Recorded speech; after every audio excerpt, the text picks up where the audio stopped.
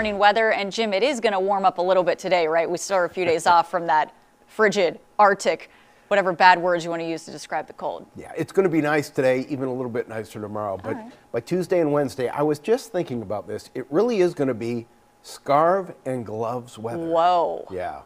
This is like y'all are up in Ohio where I'm from. Yeah. I'm going to get out the long jacket. You know, that's like you got big jacket. I know Right. you're a big jacket guy. You got to get out the long jacket. Yeah, e- everything you have. I mean, it's going to be about as cold as it can be here in southeast Louisiana.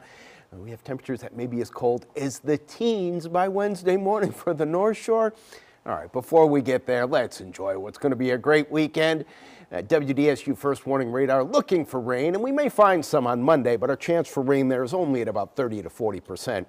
These temperatures were cold earlier this morning on the North Shore. We were at 29 in Hammond. Now we're at 43 there. 43 in Bogalusa, 45 officially in Kenner.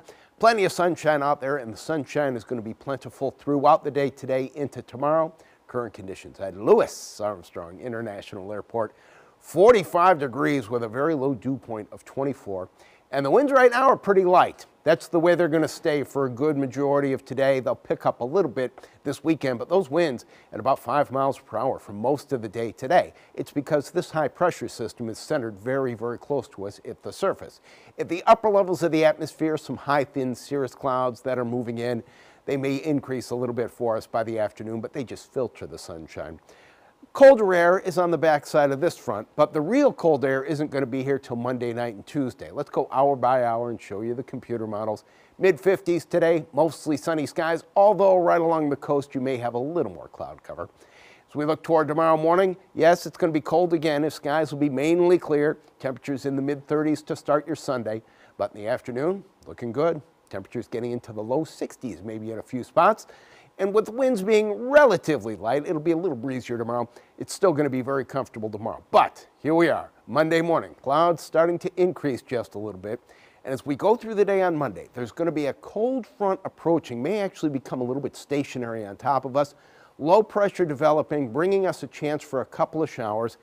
And I'm going to mention this very, very reluctantly because extreme North Shore, there's a possibility that by Monday evening, you could have just a touch of mixed precipitation. I don't think that's going to be a factor. I don't think it's going to be widespread, but let's mention it because you do see just a tiny bit of it showing up here on the computer model. Coldest morning is actually going to be Wednesday morning behind this front, and we'll show it to you here in just a moment. Let's enjoy the weekend. Mostly sunny, cool, light winds, high temperature in the mid 50s. Very nice. Tonight, mostly clear as we get toward morning. We'll call it partly cloudy through the evening hours, but we clear off toward morning. Mid 30s to start the day on the North Shore. And then your forecast for tomorrow, high temperature going to be in the upper 50s, maybe even close to 60 degrees in some spots. Sunny skies, warmer. And yes, the wind picking up a little bit, but to call it out, uh, out and out breezy, I think would be a little bit of a stretch. Winds from the northwest at about 5 to 10 miles per hour. Okay, get ready for the cold air. It's here by late in the day Monday, and when you wake up Tuesday, North Shore in the 20s, South Shore close to freezing, and your high temperature only 39 on Tuesday. Wednesday we get up to 41, but Wednesday morning is going to be the coldest morning as the North Shore could be in the teens. Widespread freeze expected Wednesday morning across the board, every location in our viewing area.